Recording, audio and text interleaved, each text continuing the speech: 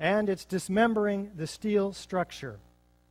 In fact, the leading edge of these mushroom clouds are full of perimeter columns, aluminum cladding, and other steel. Let's take a look at the South Tower in terms of dismemberment. See what's going on here. South Tower is on your left. It was hit lower by the aircraft.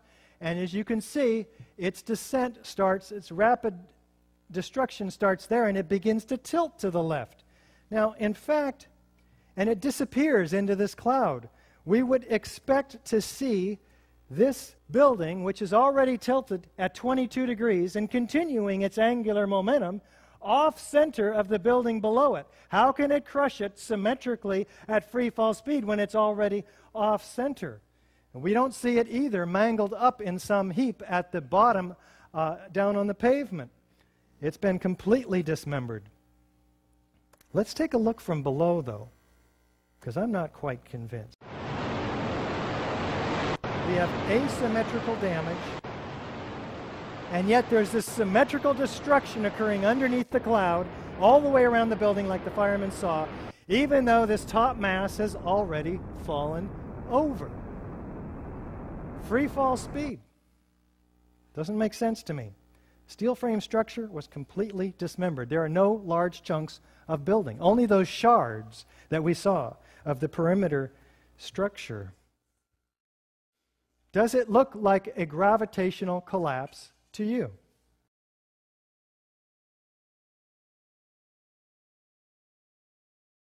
Do we have a lateral ejection of structural steel? Let's take a look. Now let's look at the collapse of the Twin Towers.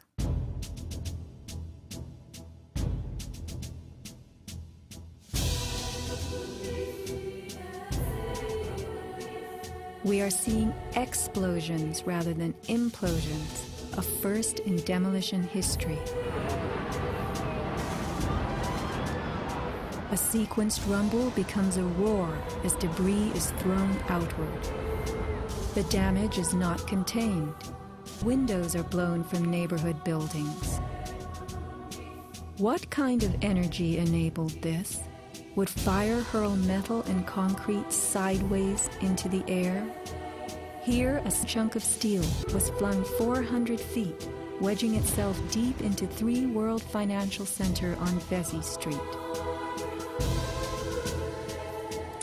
A FEMA photographer taking pictures of Ground Zero wondered why so many steel beams were jutting from neighborhood buildings. What shot pieces of the towers all the way across the street? In fact, the portions of the tower that had the greatest structural members, the sky lobbies and the mechanical floors, had the perimeter units thrown farther than the perimeter wall units from the upper floors, which theoretically should have, because they're higher, they should have gone farther, right?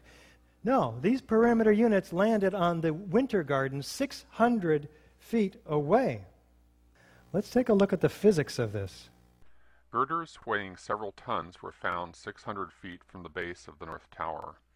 How fast they were ejected depends on where they originated.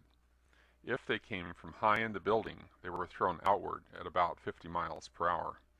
If they came from lower down, the speed had to be even greater.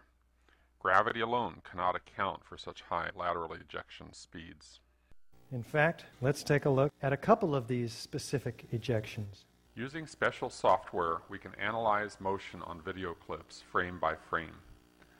I have placed markers on each frame so we can track a particular projectile. From the markers, we can get a data table and plot various graphs. The data here shows that the object we were tracking was shot horizontally at over 70 miles per hour. The energy needed to hurl a 4-ton girder at this speed is comparable to the energy needed to hurl a 200-pound cannonball three miles.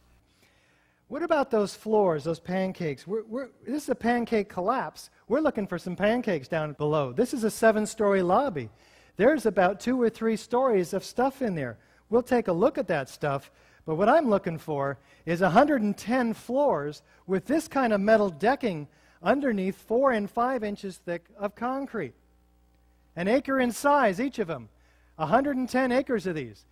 How many floors do we find down at the bottom? Not 50? Not 10, not even one. We don't even find metal decking down there or concrete. There's hardly any macroscopic chunks of concrete. What happened to the metal decking? What happened to the concrete? Tom Patrizio brought these floor decks out, 6,000 of them, he says. I couldn't believe it. Not one floor panel, he notes when he comes back to help the cleanup. Pancakes occur in pancake collapses.